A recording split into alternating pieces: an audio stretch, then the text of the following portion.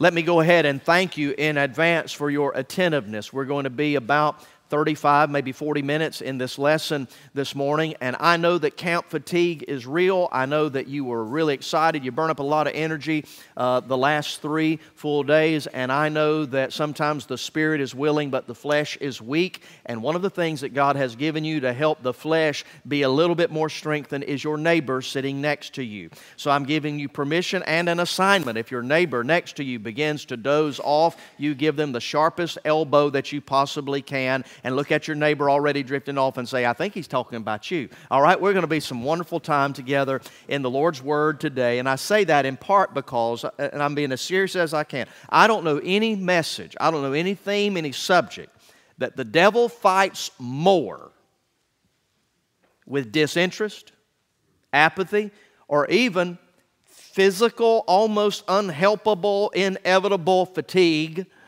than when we're talking about sharing our faith, sharing the gospel with somebody else who's lost, and praying that God would use us to see them come to faith in Christ. For some 19 verses, Jude has been talking about the darkness that filled his culture. But starting in verse 20, where we were last night, he moves from exposing the darkness to shining the light. He tells us how we are supposed to be used by God to contend, to defend, and to push back the darkness to make a difference. Now, to establish the cultural context for this, I want to just share some things about lostness in our own culture in our own day. Students, all around us every day, people are dying lost and going to hell. And you can go to hell from Blackshear as easily as you can from anywhere else in the world. You can go to hell from Hortense or Hoboken or Nahunta or Bristol or Mershon or Waycross, Waresboro. You fill in the blank. You can go to hell from Alma as easily as you can from Atlanta or Africa.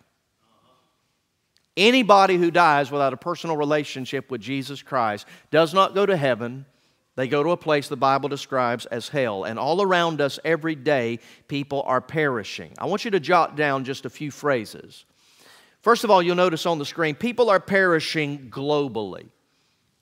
All around the world, people are dying lost without Christ. And we ask sometimes, well, what happens to people who are in these dark places of the world, like these unreached people groups that uh, some of you are going in a little over two weeks down to the jungles of Peru to engage some unreached, unengaged people groups. We, we often hear this question what about those people who have never heard? I've got a better question. What about those of us who have heard and are not concerned about those, not, not in Africa, but on our school campus, on our bus, on our team that we encounter every single day who've never heard the gospel? But around the world, statistically, 4 billion people will live their entire life and never hear the gospel one single time.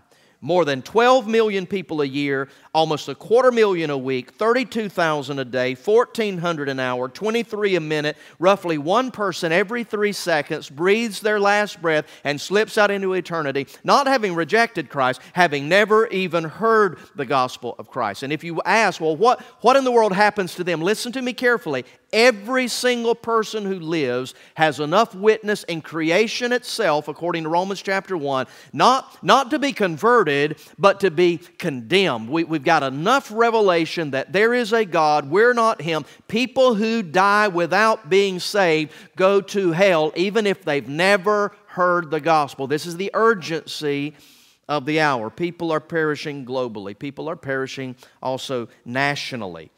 In the last 25 years, our country has moved into what is rightly known as a post Christian era. The fastest growing religious groups in America are not even biblical Christians. They are the, the Mormons, the Jehovah's Witnesses, and the Nation of Islam.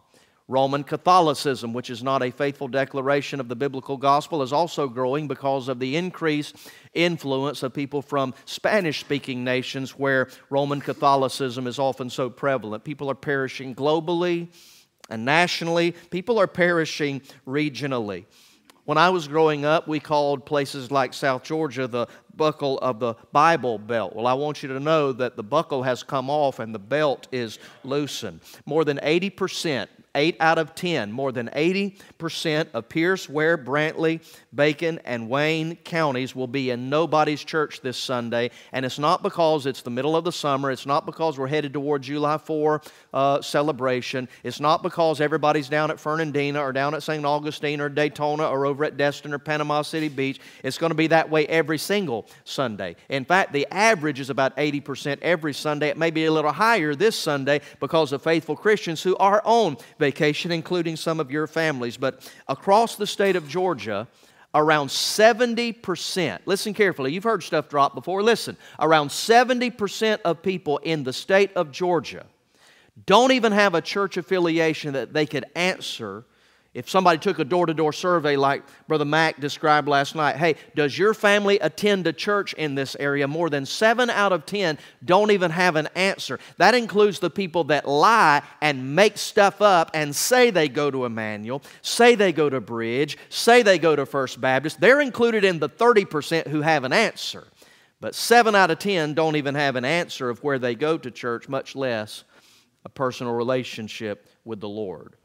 People are perishing globally and nationally and regionally. People are perishing congregationally. Every year in our own Southern Baptist Convention, around 10,000 churches report zero baptisms. There are around 48,000 Southern Baptist churches in the United States, and about 20% of them report that they did not win anyone to Christ. Students, listen carefully. That means 10,000 pastors went all year and didn't lead anybody to Jesus. That means 10,000 deacon chairmen went all year and didn't win anybody to Jesus.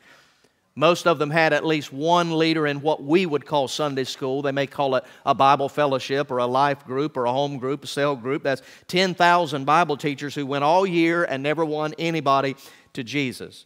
At two sermons a week, if you just think maybe Sunday morning and Wednesday night or Sunday morning and Sunday night, two sermons a week, that's 1,040,000 sermons that didn't have enough of the touch of God on them. They even get a little seven year old boy walking down the aisle. That three songs a week, that's over three million songs that did not share enough of the power of the gospel to see anybody come to faith in Christ. And I want to tell you, as bluntly as I know how, that's not merely a pastor's fault.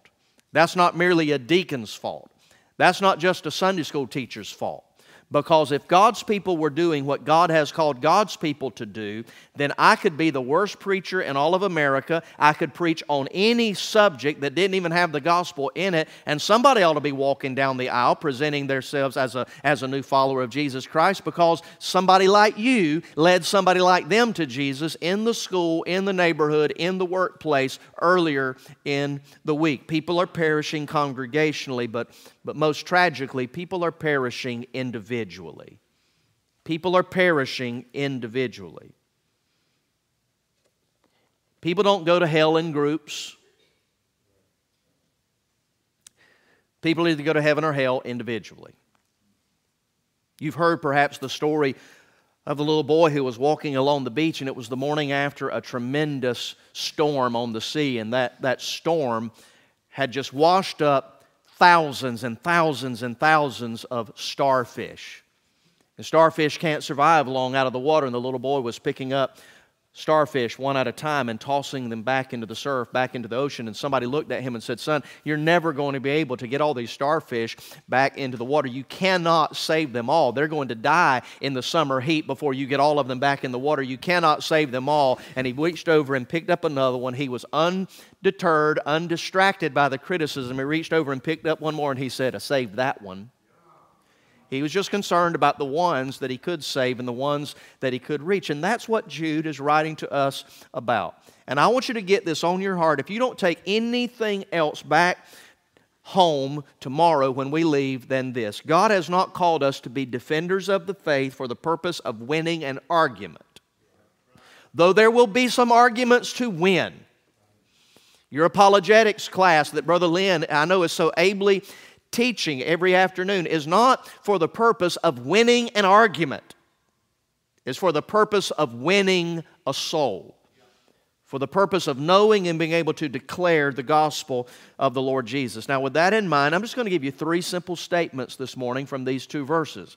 There are no subpoints, but I just want to encourage you to write these statements down because Jude has in mind in these two verses three different types or categories of sinners, three different uh, spiritual postures, if you will, of people who don't have a relationship with Jesus. And he gives us slightly different advice as to what our attitude and approach should be with each of these three groups. So, number one, write this down. We need to care for the doubting sinner. Verse 22 And on some have compassion, making a difference or a distinction. Sort of leaps off the page that he doesn't say, and on all have compassion, but he says, and on some. He is describing for us different categories, spiritual dispositions of people without Christ. Now, the word here for uh, that he's talking about, and on some have compassion, making distinction. I think he's talking to those who've yet to make a decision or a final judgment about their relationship with Christ. It's those who are doubting. They're not calloused, they're just confused. Now, the reason that I say that is because of our parallel passage.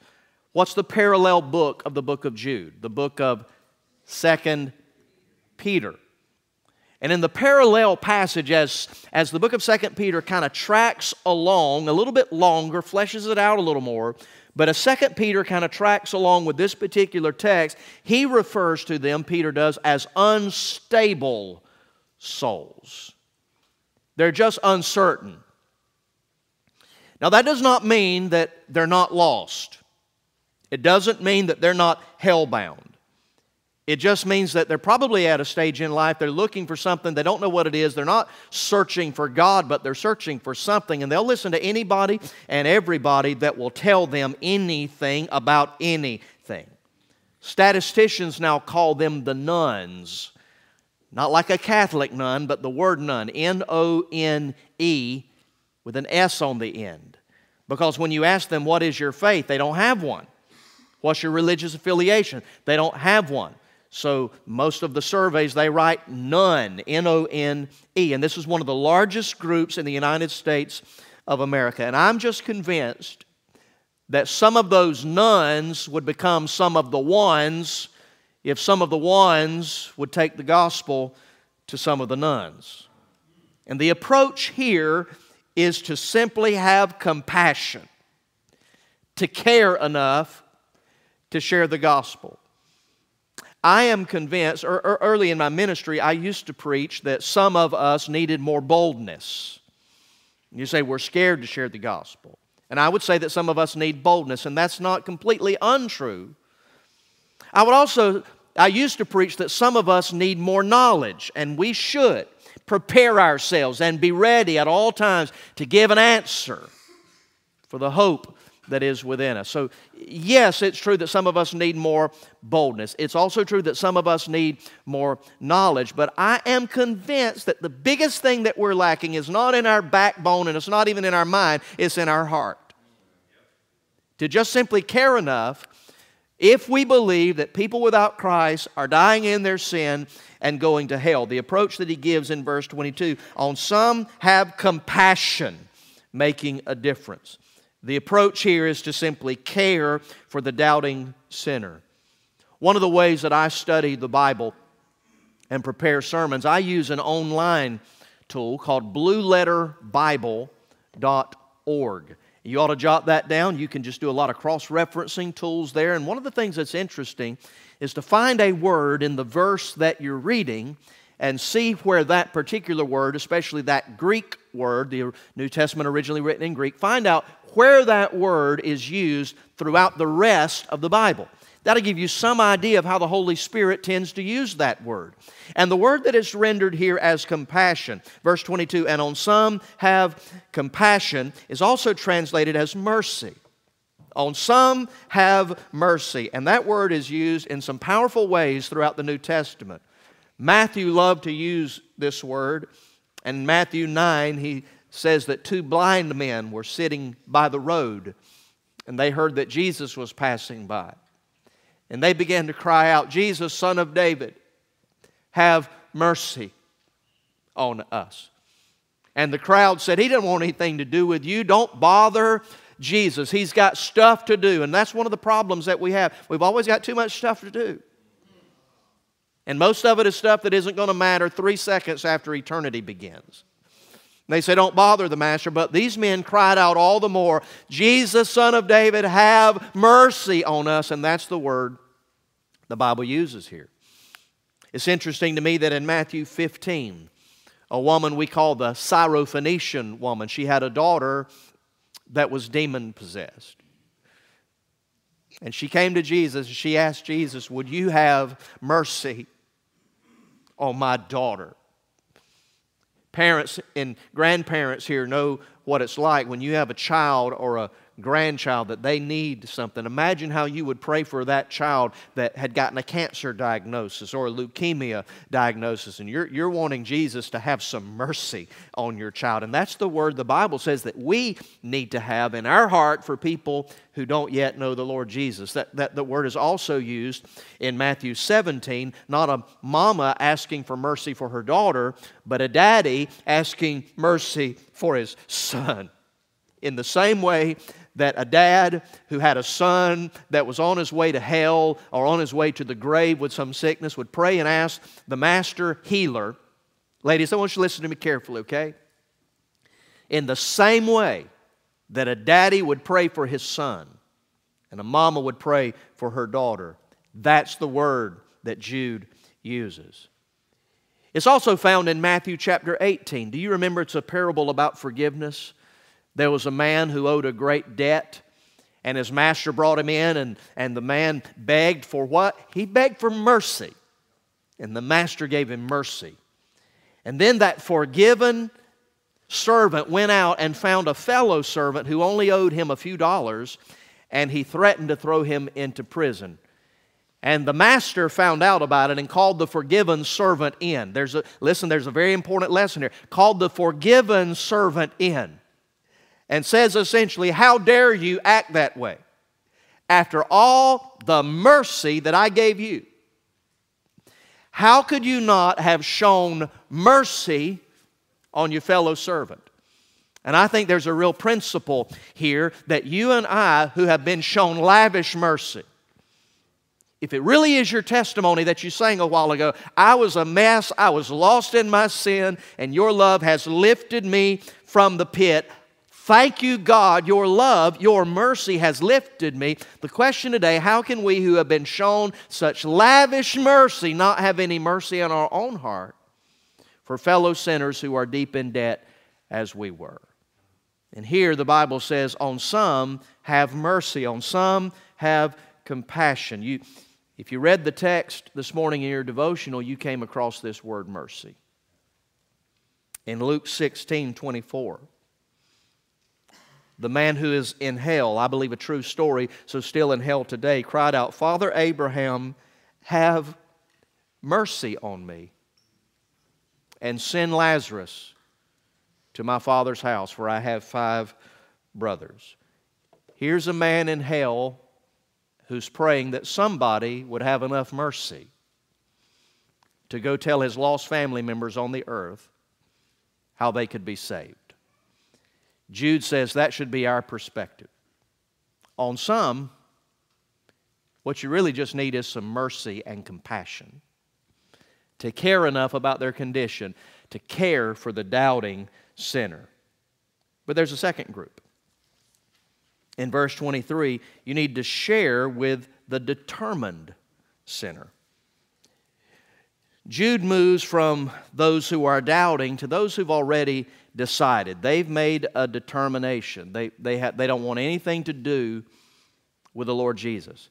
When you and I sing, I have decided to follow Jesus, they could rightly sing, I have decided not to follow Jesus. They've heard it before. They may even be able to quote the gospel. They used to go to church. Maybe they came to a student group. Maybe they came to a student camp and nobody would talk to them. Nobody would sit with them. Maybe somebody said something unkind about them. They got their feelings hurt and they turned their back not only on the church but on the Lord. And now, as far as they're concerned, they don't even want to hear it anymore. But what does the Bible say we should do with people like that? Look in verse 23. But others save with fear, pulling them out of the fire.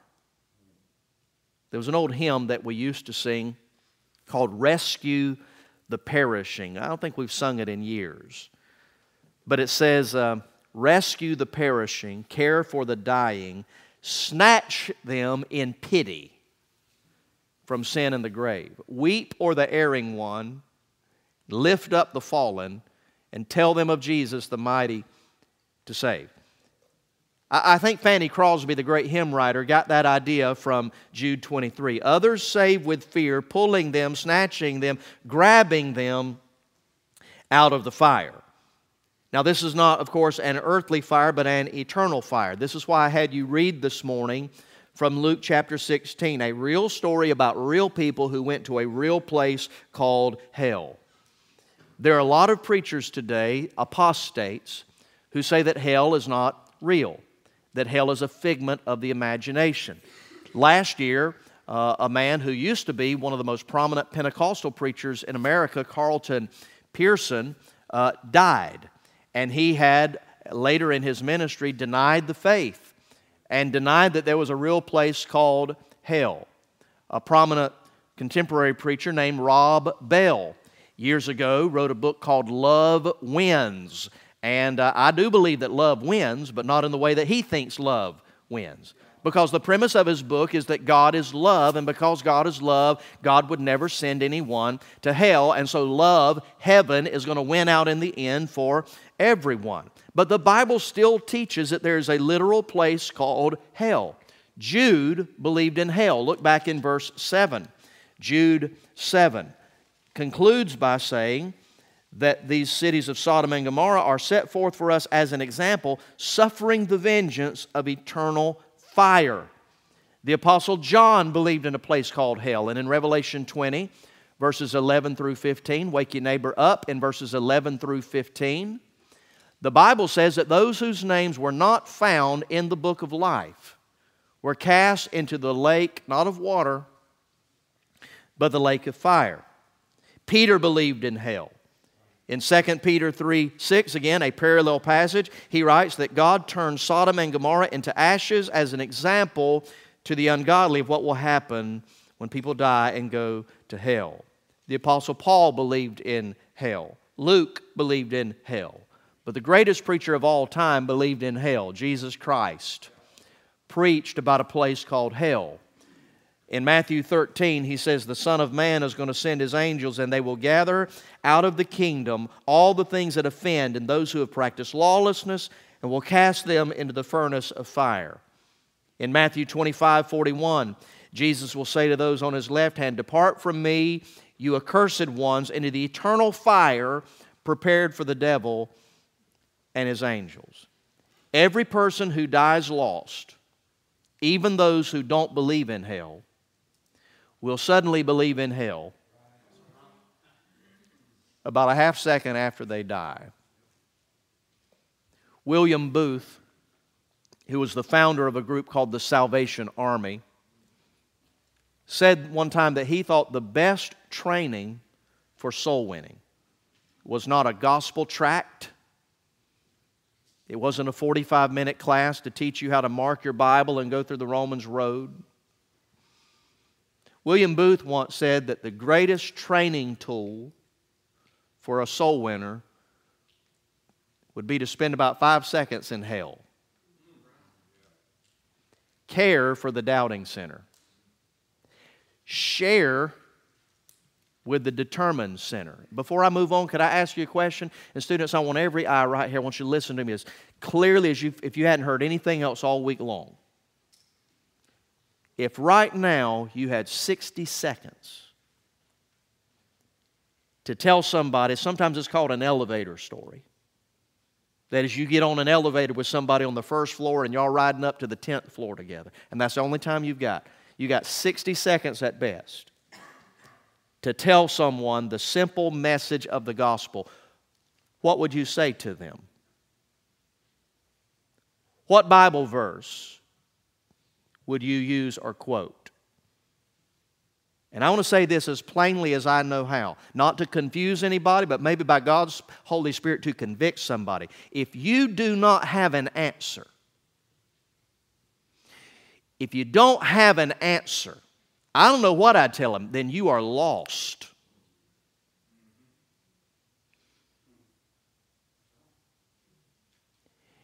If you can't tell me how to get to the cafeteria, it's because you hadn't been. It's real simple. Go out that door and turn to the left and keep walking till you smell the food.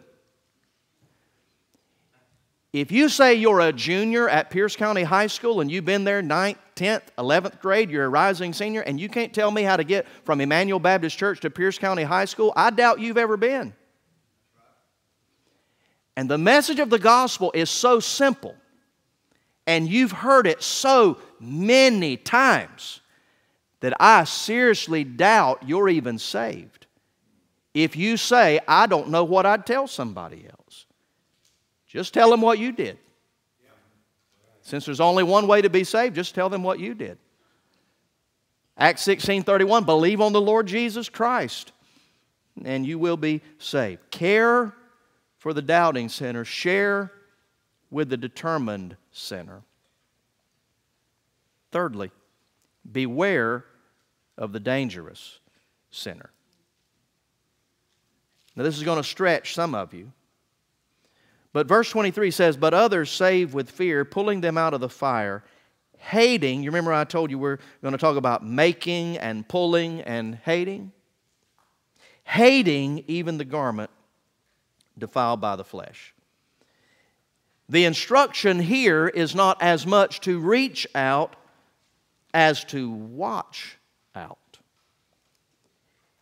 You see, some of these that are lost, they've not, on, they've not only already determined that they don't want to hear the gospel, they're not going to believe the gospel. If you're not careful, they're going to do everything they can to pull you away from Christ. The word garment here, hating even the garment defiled by the flesh, I'm not trying to be gross, but I do want to be accurate, It's literally referring to the undergarment, to your underwear.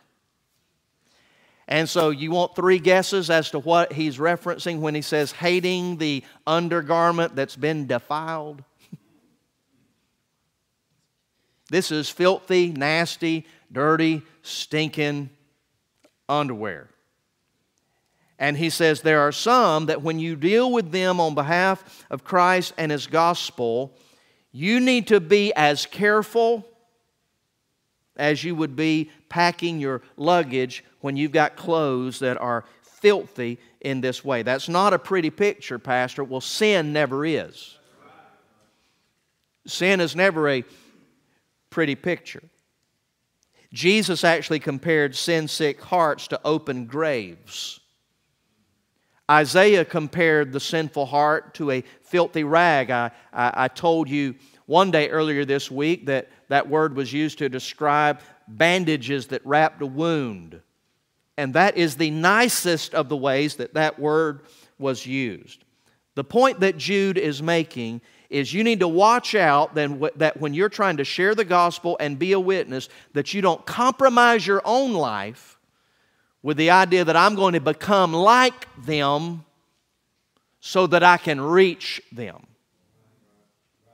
Now, this may answer a question some of you are not even asking, but I'm going to answer it anyway. The Apostle Paul one time famously said that I become all things to all men that by all means I may win some. And there are some who take that verse to teach that you should do anything, wear anything, drink anything, eat anything, watch anything, listen to anything, so that lost people won't think that you're a religious fuddy duddy. To which Vance Havner, a great preacher of old, once said, You don't have to dress like a clown to witness at the circus. If you've got friends who drink, you don't have to, you don't have to drink beer to witness to somebody who drinks. If you've got foul mouthed friends, you don't have to stop, start dropping F bombs all the time so that they'll think, well, I don't want them to think that I'm some stuck up, think I'm better than them, so I'll, I'll use the Lord's name in vain, and I'll drop these F bombs, and I'll say all of these ungodly words. You don't have to skip church all the time on Wednesday night to try to reach people who are not concerned about the things of God.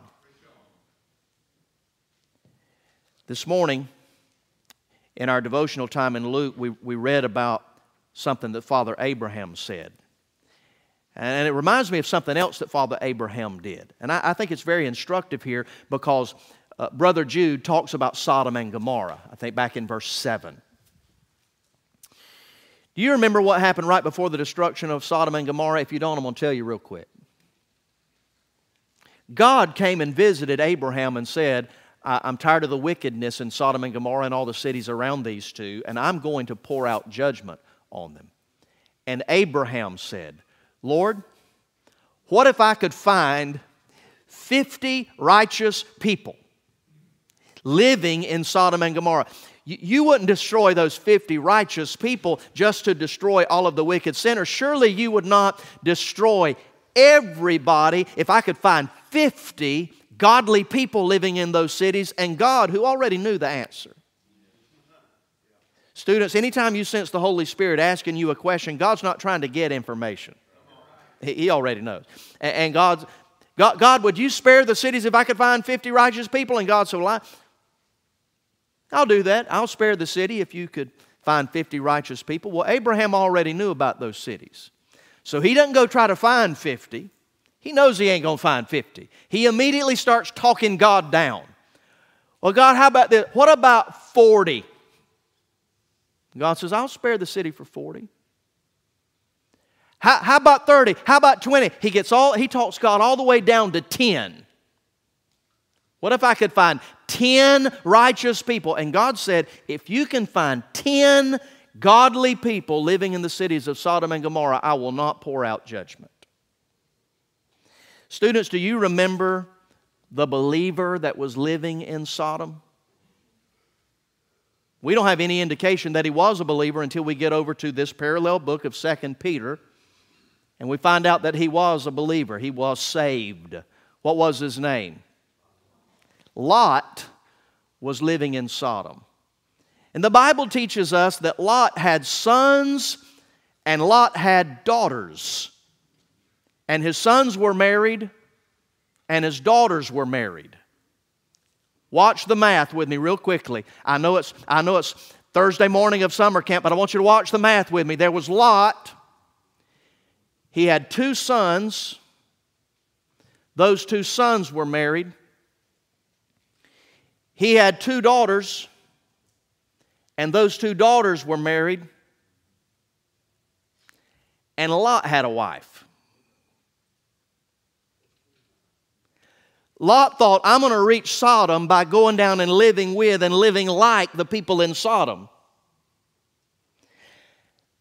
Abraham, here's my point Abraham came closer to sparing Sodom living outside of Sodom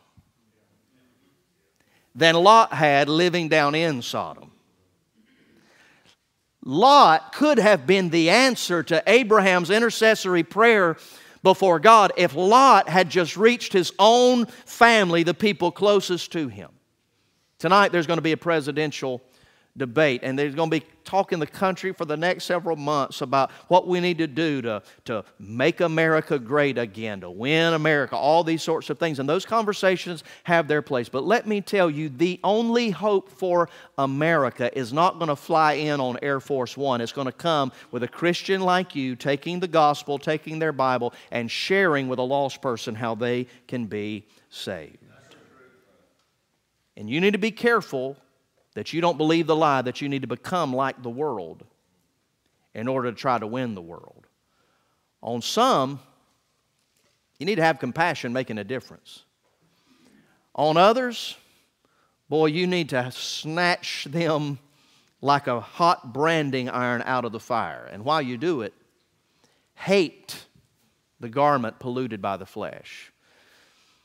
Some of you remember when our student camp used to be over at Epworth by the Sea, and many of you have been there. It's, it's named after the home place of John and Charles Wesley. Uh, Epworth by the Sea, sit real still. Remember this tonight when Pastor Charles is heading into his conclusion. Makes a lot of noise with 130 people closing their Bibles and putting stuff up, okay? So it's not a rebuke, just a, just a reminder, okay?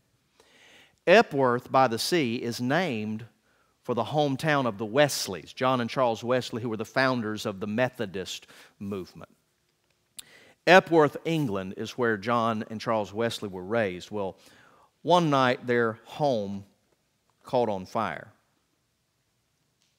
And in that old farmhouse, everybody got out. Mom and dad got out, and six of their seven children got out. The only one at that point in the fire that was still inside the house was John. There was no way that they could get back in the front of the house when somebody noticed John was sticking his head, sticking his face out of one of the upstairs window. And history says that the people around that town literally climbed on top of one another. It wasn't some big tall house like maybe you're thinking of a two story house today, but it wasn't, it wasn't really accessible to the ground easily either. And the people climbed on top of one another and built a human pyramid. You've seen how we stack these cups sometimes in the minute to win it games? They started doing that and built a human pyramid, a human ladder, really. And then John Wesley was able to crawl out of that window and make his way to safety. Now, the Methodist Church has a lot of challenges today, but there was a time that the Methodist movement was responsible for one of the greatest spiritual awakenings in this country and ultimately around the world. Years later, John Wesley, a great, great preacher of the gospel, would write That night, I was plucked as an iron from a burning fire, thanks to a living ladder. You and I are a living ladder to a lost world. And I close with this simple thought, this question. Listen to it carefully. This morning in our devotional time, I ask you to write down the names of some people that you are praying for their salvation. You don't have to answer out loud. I don't need you to answer out loud. But did you have any names that you'd write down? If so, well, it's a great time as we close this morning to say, Lord, would you give me boldness and compassion when I get back home to share the gospel? And if you don't have any names there, God, would you give me love, boldness, concern to begin caring for those who are lost because I want to be a difference maker.